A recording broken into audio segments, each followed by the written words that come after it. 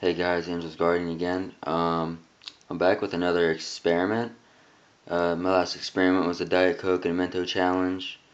Um, this one, I don't really know what to name it, but um, we're going to be lighting magnesium on fire. And I've done this in my chemistry class before, but um, we weren't, we're not allowed to video any of the things we do in the lab. So I kind of just took some magnesium strips. I have two strips. Um, all we need is the strips, a lighter, and a pair of tongs.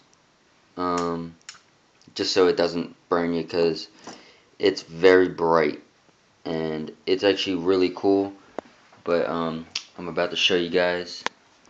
And um, alright. Um, I'm outside. I have my magnesium strip, my tongs, a lighter, and just a bowl to put it in when it's done.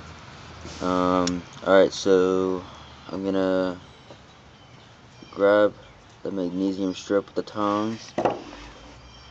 Now, it's gonna be very bright, so I'm not gonna look directly at it.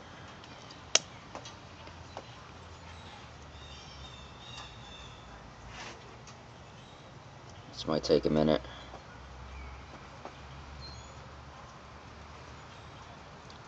In class we did it with a Bunsen burner, so that was really quick. There we go.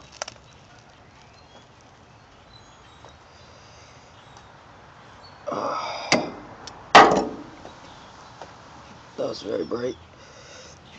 Alright, so, um, that's the quick experiment uh, for today. Um, again, all you need is a magnesium strip if you can get a hold of one. Um, I just took it from my chemistry lab.